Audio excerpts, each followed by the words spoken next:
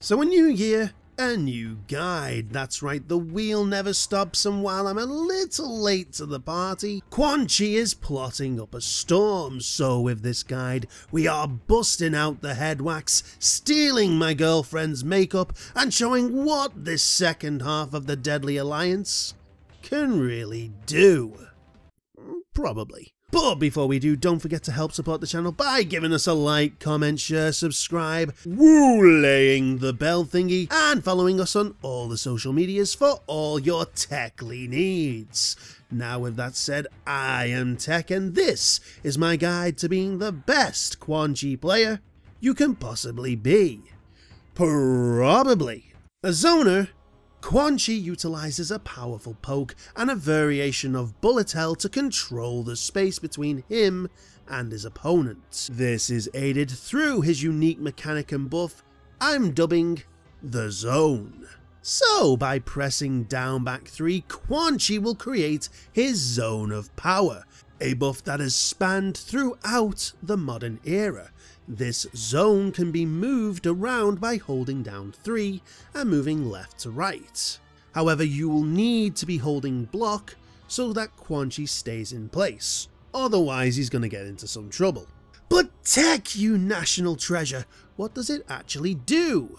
And to that I say, oh, you guys! And what it do is one of two things. First, when enhanced, it becomes the zone of fear and repels the opponent from that zone, making it harder for them to poke you out. But more importantly, the zone of power itself alters your projectile properties, transforming how you play the character. Hell, the startup is also pretty quick, so this can easily be set up, and with the right cameo combinations, you can get some fur damage and have the zone out for some zony goodness. See what I did? Zone and zony? Who needs to pay for writers? One of those being Head Rush, Quan Chi's iconic projectile stemming all the way from MK4. This sends a skull full screen to the opponent. Varying levels of block safety, the further you are, the safer you are, and when in the zone will send three skulls out in varying screen cover. Think Shang's enhanced skull. When enhanced, the skull becomes giant and waka wakas all the way to the opponent with different paces, slow, normal and fast, based off the away, standing and forward inputs, respectively. When you're in the zone, this big skull on hit will teleport the opponent either to Quan Chi for combos or full screen for zoning, depending on your input. The latter we care less about as we have more than enough ways to get the opponent full screen. What's more, head rush can also be done in the air sending a skull diagonally to the opponent. Again varying levels of block safety, but this time you're always negative. When in the zone it becomes just a simple purple version of the skull, which sucks as three skulls diagonally would have been, you know, no real improvement in the grand scheme of things, but hey, it is what it is. And just like its ground counterpart, when enhanced, becomes the giant Pac-Man and has the same boons as the ground counterpart, zone properties and all. But let's talk the moves. So, for key normals, we start with Tamed Impaler off the standing 1-2-2, a neutral on block string that creates space between you and your opponent. But it's the initial 1-2 string, Dangerous Ally, that is important here. Both hits are special cancelable and where the initial one is in danger from microducks, as all highs are in this game, it is again neutral on block, while that mid 2 is very much safe. Really it's an okay extension string, but an annoying opener, as sadly there is an armorable gap there.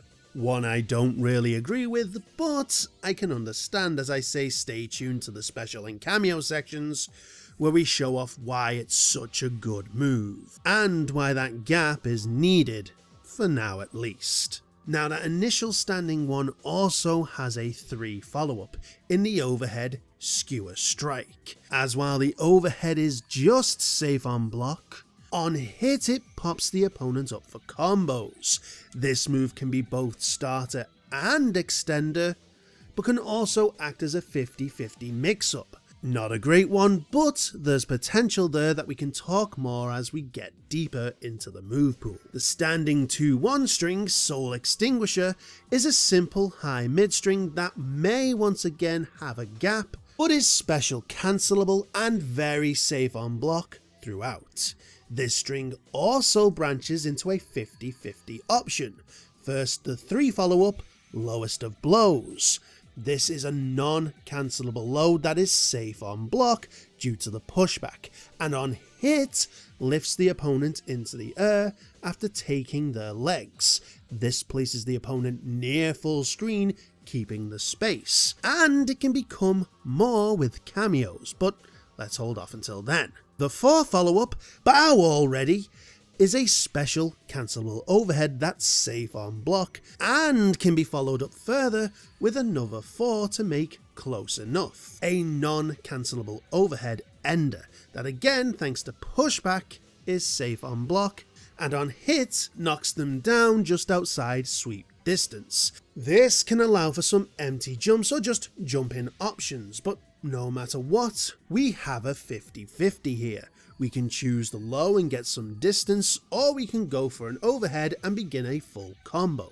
Sure, it's not the best 50-50 as we have micro ducks and armorable gaps all before we even get there, but still it's one we can utilise, and Bow already is probably one of your better punish tools, so yeah, good strings. Next up is the Away 2 your MK1 patented overhead for the evening, stupidly long startup, and this time, death on block. However, you can keep yourself safe if it lands max distance, unless they have some ranged standing normals.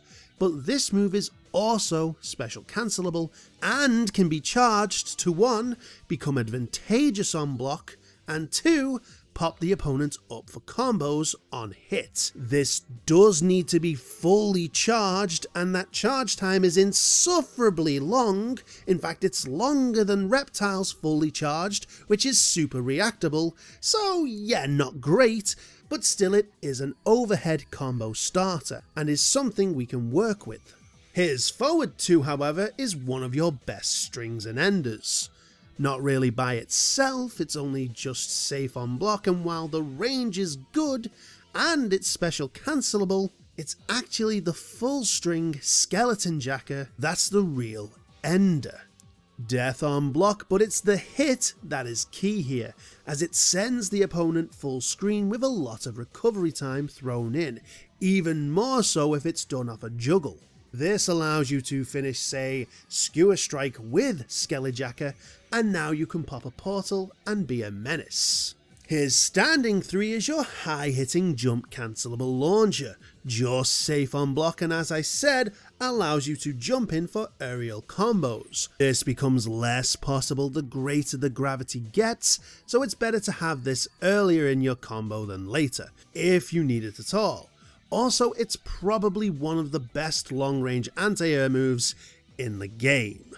Next up we have Coccyx Crusher off the Away 342, a powerful low to mid launcher that is one of your go-to combo starters, as while the last hit is not special cancelable and because of the way the string works, will completely whiff if you block the initial string taste test, it will leave the opponent in the air long enough on hit to continue on. And while Taste Test is unsafe on block throughout, that initial away 3 travels a third distance, and the string is also special cancelable throughout. Plus, this is the final piece to your 50-50 mix-up game. When you are not keeping the opponent at arm's length, you can use the away 3's low, the away 2's overhead, and your throw to mix the opponent up. This adds a lot to Quan Chi's overall play. Well, anybody with an overhead or low starters play, as the opponent has to react with three options in mind. His penultimate normal is the standing 4 Cunning Kick, a button that's deserving of having its name mentioned as it's one of your most annoying attacks in the game. This special cancelable high is majorly death on block, but that's because it can connect anywhere on the screen, and the startup isn't that bad either. This, alongside your projectiles, will aim to keep the opponent where you want them, or allow you to catch them off guard with the right cameo to make something out of it. Its main weakness though is forward momentum. If the opponent chooses to move forward at any point, you will always whiff, and leave yourself in a position unbecoming of a zoner. And lastly, his forward 4-4 string, Pain with Portals, is a double high stomp that on hit will bounce an airborne opponent with the initial 4, which is also special cancelable, then send the opponent full screen with a buck ton of advantage. Think a less damaging skeleton jacker, but easier to land and also safe on block. What's not to like? This is another strong ender if you want to zone.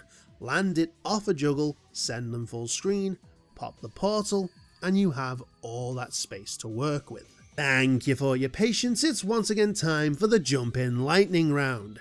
And we start with Jump In 1, your strong contender for the Air to Air option, special cancelable and has some okay poke range, but it's the 2 follow up Risen Rake that's the string to talk about. Yes, it can be extended with another 2 to send the opponent full screen with Brilliant Blast, but Risen Rake has a little floaty hit that links with some cameos bringing their use up. It's also one of the few strings that allows you to land the aerial enhanced head rush, which if you have the portal out is a good combo extender. Jumping 2 is your more air to ground option, but it is also special cancelable and branches off into two strings. First, the one follow up Double Death Dealer, or to make things easier, the 3D.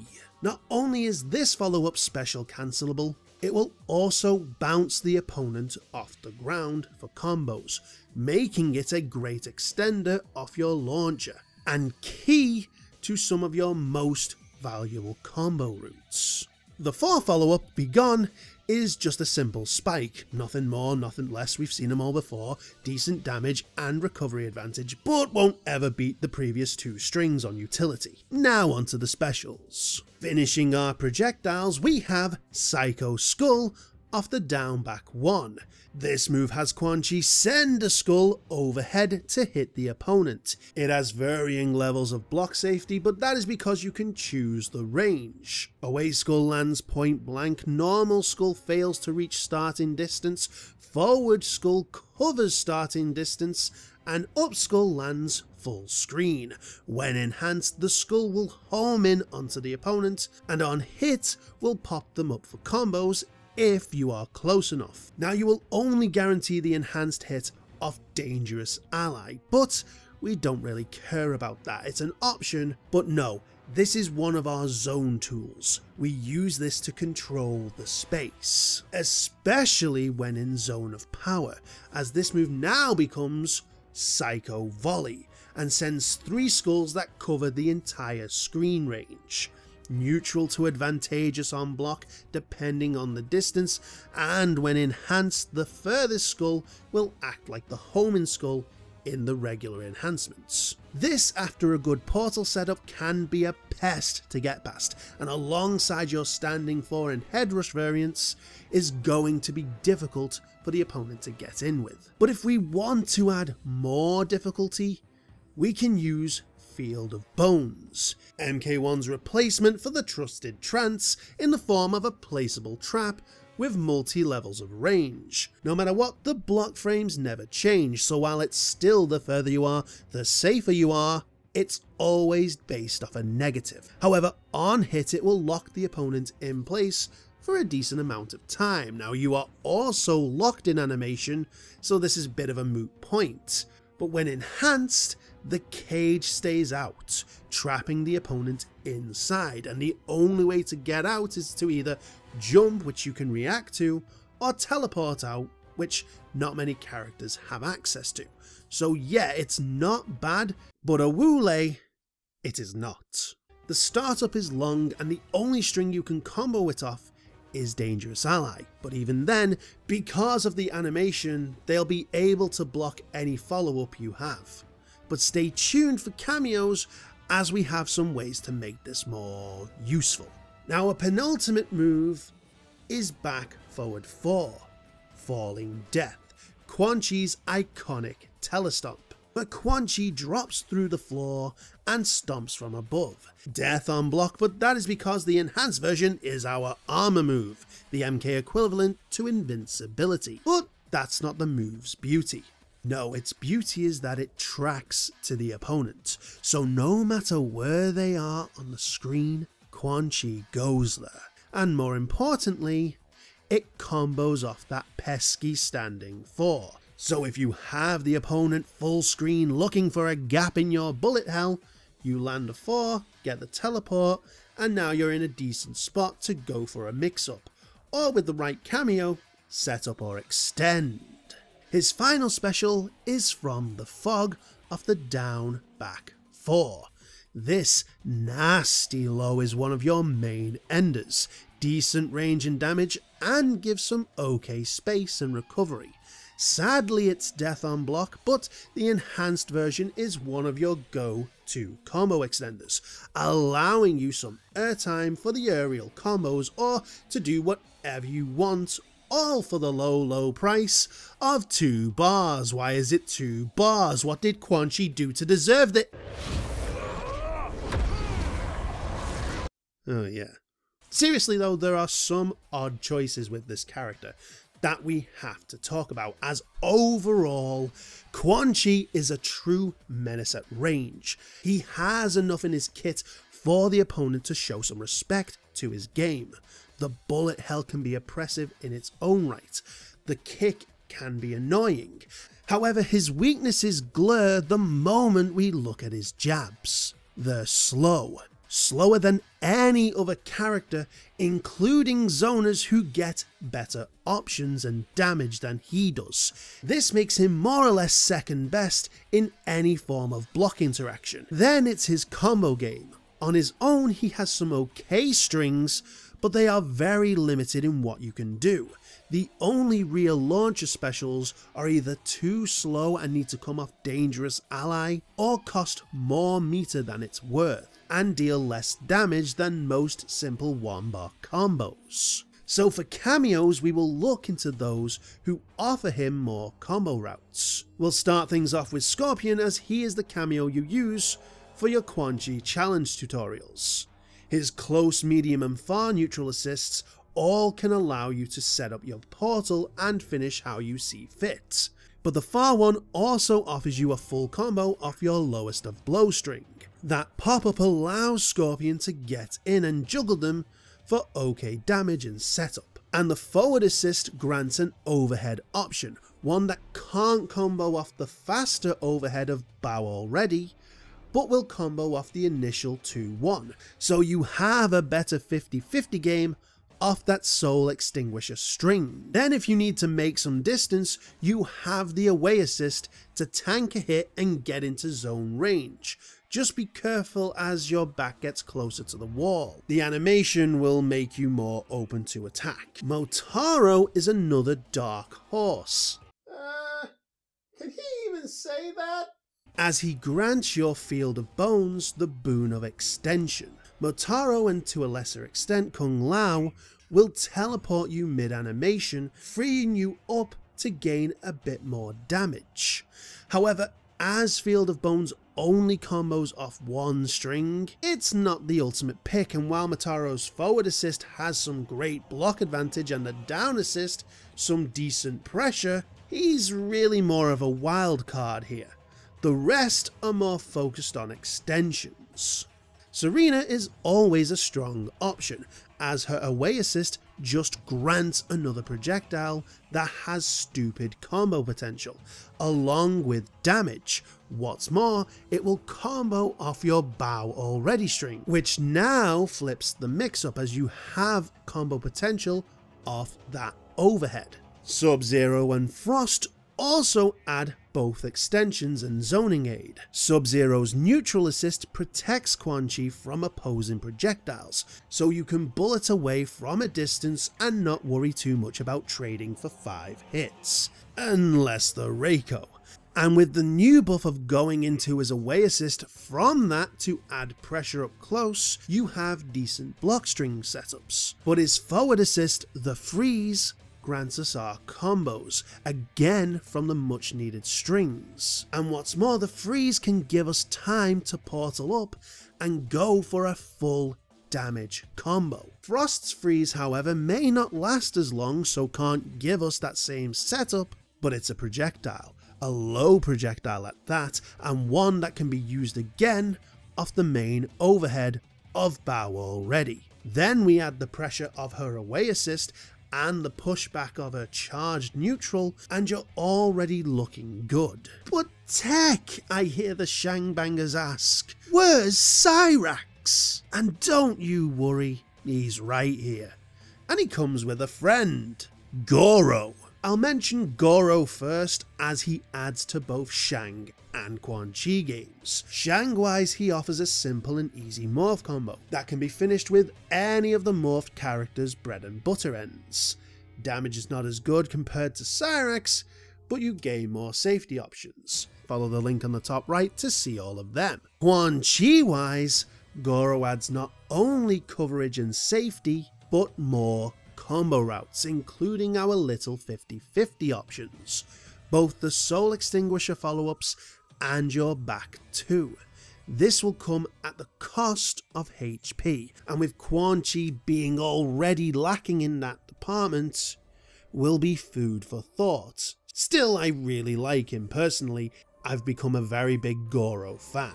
Cyrax, however, is very strong with Quan Chi, as the mustard maker adds setup to his Coccyx Crusher bread and butter with the vertical copter, block safety with his horizontal copter, and while his bomber net still could do with a rework, Quan can take advantage of both of them. The net itself off the away assist can actually combo off Dangerous Ally and give you enough time to set up portals and the Cyrax bomb, all while draining a bar of meter off the opponent. So, as a combo, you can do Dangerous Ally into Net, summon your portal, move said portal, summon Cyrax, and while holding the assist button, go for Standing 4 into Skull Volley.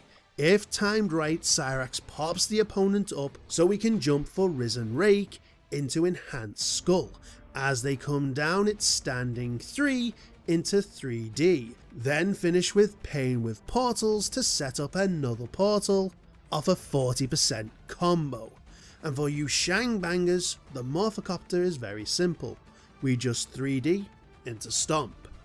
Decent damage, mwah. Yet Cyrax is not the best option. Nana! As he sadly offers no regular combo routes. No, for the best, in my opinion, it's a toss up between Sector and Tremor. Oh yeah, the top two options for Smoke are returning yet again. Sector's neutral assist, the Rocket, can cover Quan Chi during zoning. If the opponent gets past your bullet hell, the Rocket should keep you covered.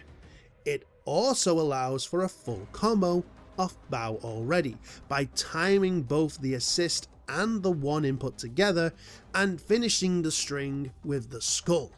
The flamethrower off the forward assist got a buff and now becomes a strong safety option off your taste test string, but the away assist, the teleport, is your ultimate tool.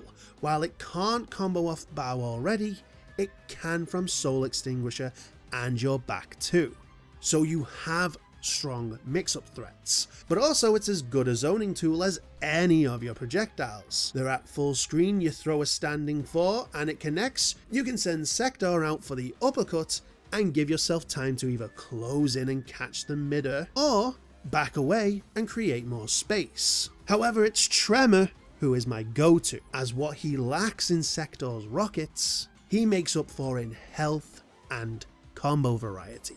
Aftermath's up assist is a beautiful combo starter off his most needed strings. Both Aftermath and Metallic's forward assists offer neutral to advantageous block strings. And Crystalline is, well, crystalline. Adding armor to your combo to tank a wake up or power through a string is always good, but it's Tremor's whole variation shift mechanic that adds so much to Quan's game. So remember that standing 4 into Stomp? Remember how that was all you could do?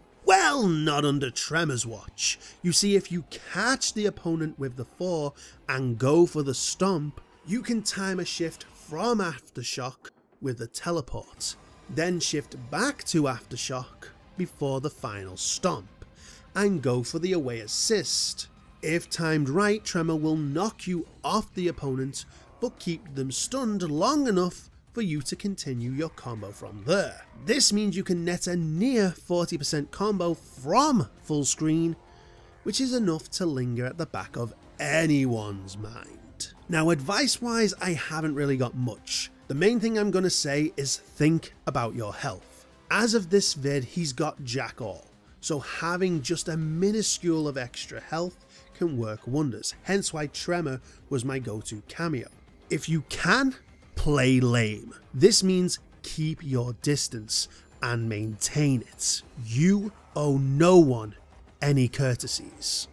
If they want the privilege of a close-up fight, they should damn well work for it. Keep that in mind, and you'll show that the real Wulei are the friends we made along the way. You want to make friends along the way and keep us going strong, don't forget to like, comment, share, subscribe, woolay that bell thingy, and follow us on all the social medias. Also remember, this is a community, so if you have any tips and tricks you found yourself, or just want to tell us who you want to see next or who your favourite character is, let us know in the comment section below. And finally, tune in next time, where once again we look at another random fighter. But until that day, this has been TeknoOdin. Stay safe, claim skulls, smash bosses, and remember, it's in our blood.